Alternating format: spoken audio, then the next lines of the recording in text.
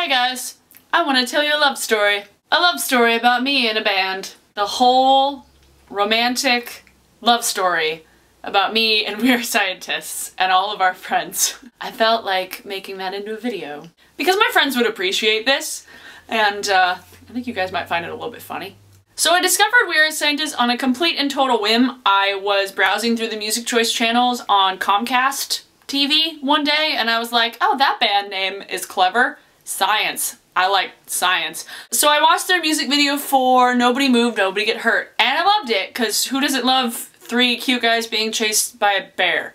or a person in a bear costume. So after that, I went and I found all of their music and downloaded it in a completely wrong order using Winamp. Booyah! Winamp, old school. All you young people have no idea what that or Kazaa or any of those are. Napster! But I went and I downloaded all the songs off of With Love and Squalor, and I still have that original burned CD somewhere. And I, I kind of got really obsessed with them for several months after that. And then it was my senior year and I got really preoccupied and I kind of didn't really care about anything besides like getting healthy. So I kind of like dropped them off my radar. And then I got to college and I got really obsessed with The Lonely Island. Those Andy Samberg, Jorma Taccone, and Akiva Schaffer from Saturday Night Live.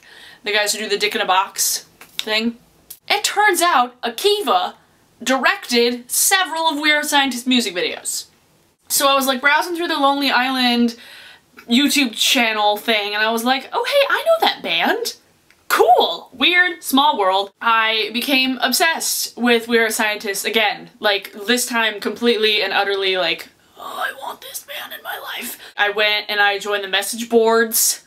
Um, or I read the message boards. I didn't really like write anything yet because I was still like, oh my god, I'm so timid and like not in with the crew. The relationship stayed very kind of consistent for the next few months. That was when I was kind of like having a bit of a clusterfuck of a year, um, living with a uh, horrid bitch as a roommate and um, not being in the right place.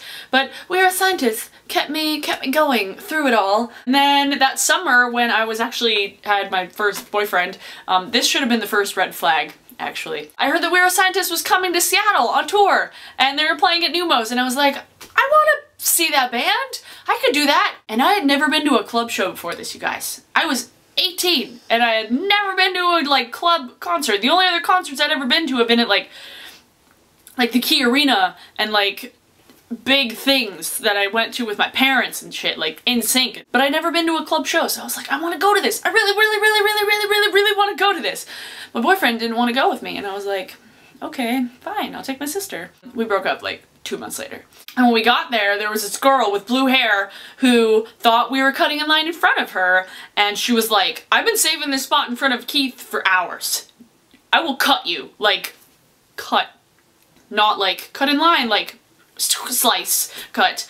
And that turned out to be Adrian! My head lady mance! Me and Andy were coming up with words the other day. We were talking about him and his friend Josh's bromance. What would the girl version of that be? And he's like, I don't know. And I was like, lady mance. Lady mance. I would consider me and Adrian have a lady mance. Yeah, but yeah, so Adrian threatened to cut me in line, and that is how we met. And that show was awesome. And Keith jumped down into the crowd for textbook, and it was awesome, and he like touched me, and I was like, oh, the cute gray-haired boy touched me. Oh, yeah. I love Keith. After that, I wrote a little blog post about said show and I like sent it to the What's the Word blog that Renee, my friend Renee runs. And I was like, oh, I have some information. Like I went to the show and it was fun times. And then Adrian saw it. She's like, oh my God, that was me. I didn't mean to like scare you. And I was like, no, that's cool. And then we made friends on MySpace. And then I followed her on Twitter. She was like the second person I ever followed on Twitter. We uh, became friends and me and Renee became friends. And then I got like into the message board and then I met Susie and Susie and Polly and Joe and Tracy, Zoe and Aaron and Amber. I don't know how many people I'm like friends with on Facebook that I met through the We Are Scientists message board, but there's a lot of them. We have since done like two Secret Santa things. We had Doctor Who intense discussions and like We Are Scientists and intense discussions and like it was super super nerdy. I had never been a part of like a message board before. And, like I started doing concert photography because of my friends Amber and Polly because they're super awesome and talented. The biggest thing that happened to all of us was when they first started playing the songs off of Barbara Live and people had been like recording them at live shows. Oh, it's another new song and like we would rip them and like bootleg them to each other. And I actually got into We Are Scientists when right around when Brain Thrust Mastery was coming out. So like I got really close with my friends like right before Barbara came out in 2010 when the first song that we ever heard, the first new song, which is I Don't Bite from Barbara, uh, when it was first played, we had like a two minute clip of it on some crappy video from a phone on YouTube. We didn't know what it was called. And so we came up with Carol, not sure why, but like literally like all of us had ripped the video and made that a track on iTunes. So like under We Are Scientists, like the song Carol was played like hundreds of times because we were like, oh my god, a new song, fangasm. Don't you guys get excited when you hear new songs from your favorite bands? Like that's exciting. I'm not ashamed to say that I'm obsessed with We Are Scientists because they're super super nice people and the pe the friends that I've met because of them are some of my best friends and I'm so thankful to have met them. Like I've met my friend Renee in person like three years ago. We went to the same show in Portland. We went to go see Britt Daniel of Spoon at Mississippi Studios and then two summers ago all of us like met up in San Francisco to see We Are Scientists. Like us and We Are Scientists are a serious relationship. Adrian did the cover art for the Nice Guys single two years ago. Like that's freaking legit, okay?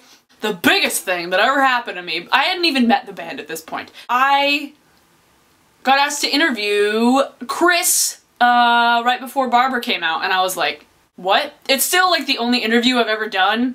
I need to do more, but I interviewed Chris over the phone and it was super intimidating and I was super freaked out but it ended up really, really well, and I had all my friends give me questions because I didn't have any questions to ask him. I was like, oh my god, I have like two days! like two months later when I met them down in Portland, I was like, I actually interviewed you for PopWreckoning. He's like, oh, you're that Abby! Thank you for your personal and professional interest in our band.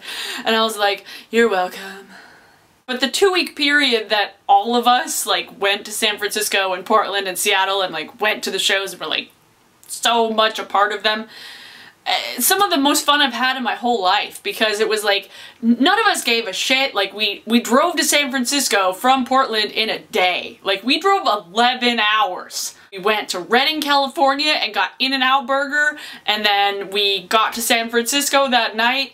The show was the next day and we left the day after. Like we were there for literally a day and a half and we just went to see our favorite band. What are some bands that you guys can attribute so much of your life to? Like, that just sounds like a weird thing, but I can attribute so much of my life to We Are Scientists. Thinking about, like, cause and effect, I don't know like, if I hadn't gotten to We Are Scientists, I wouldn't have met Adrian, or Amber, or Renee, and I wouldn't have gone to San Francisco, and I wouldn't have gone into concert photography, and I wouldn't have, like, it's crazy to think about all the things that have come because of one band. They really need to tour again, damn it. I, I want them back in my life. They need to make more music, quickly. Freaking lazy assholes. And see, we're so tight with them that we can call them assholes and it'll be okay. Like, I had Chris's phone number for a while, but then I like got taken off the PopWreckoning email list, so it's not there anymore, but I called Chris on the phone. I'll put links to videos talking about when I actually went to go like went to San Francisco. I called it the WASTRAVAGANZA. Wow, Abby looks all different and her camera is really crappy and like she has different glasses and different hair. What the hell?